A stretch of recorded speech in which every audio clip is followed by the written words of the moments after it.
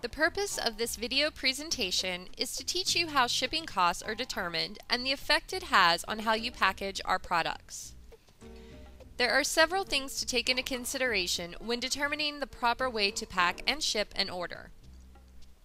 Let's begin by determining billable weight provided by our three different carriers, UPS, FedEx, and Postal. Starting in 2015, FedEx and UPS announced that they would be considering dimensional weight for all size packages as well as the actual weight. So, what's the difference between the two? Actual weight is just that. Take a package, put it on the scale, and you have your actual weight. Dimensional weight, however, is calculated a little differently. For domestic shipments or shipments within the United States, you would multiply the package dimensions of length times width times height and divide that by 166 to get your dimensional weight. If that weight turns out to be a fraction, round it off to the higher whole number. For example, if the dimensional weight comes in at 2.6 pounds, the rounded dimensional weight would end up being 3 pounds.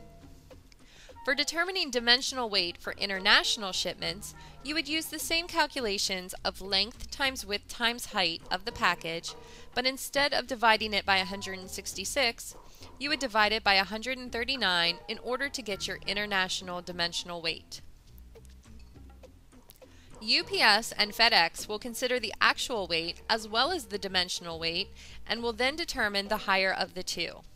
This will be your billable weight, or in other words, the weight for which you will be charged to ship. So what does this tell us? Simply that it is vital to keep in mind when packing our products into boxes that we pack them in the smallest box possible to cut down on dimensional weight.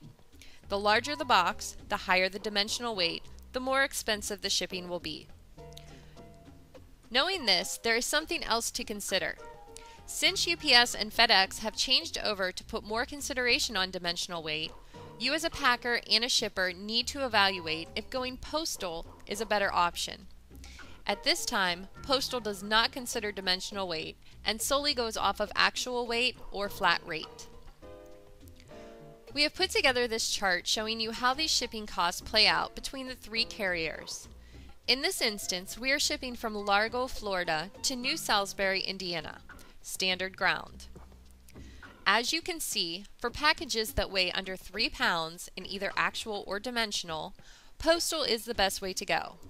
It isn't until about the three or four pound mark that UPS and FedEx start getting competitive and postal quickly shoots up in cost the heavier the package gets. As for UPS and FedEx, they pretty much flatline or have little incline until about the 14 pound mark. After that, shipping costs begin to increase. Please keep in mind these rates you are seeing here are in accordance with the current rate agreements we have with FedEx and UPS. Another important aspect of shipping costs is residential versus commercial.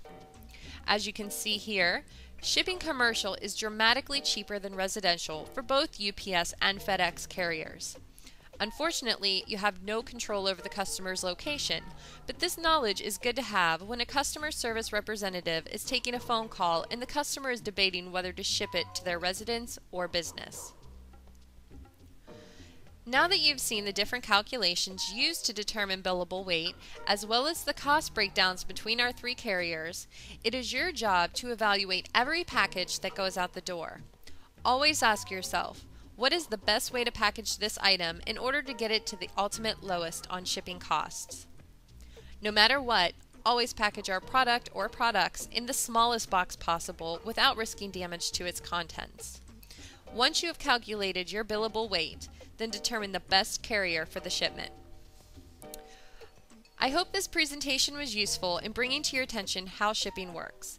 It is important that every role in this company has a basic understanding and is conscious on how to properly pack and ship every product that goes out our door.